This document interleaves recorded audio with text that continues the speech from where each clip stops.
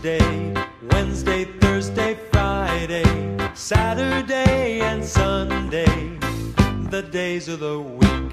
Monday, Tuesday, Wednesday, Thursday, Friday, Saturday, and Sunday, the days of the week.